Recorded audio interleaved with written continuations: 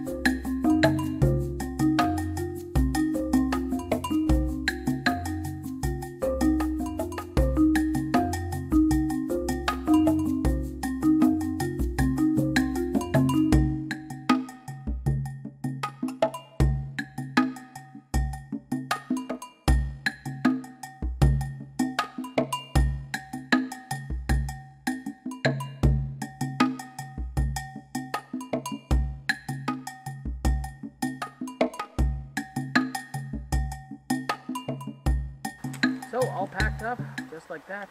Next step, we're gonna head on out to uh, to my old Jeep there, and we're gonna check all the fluids and head home.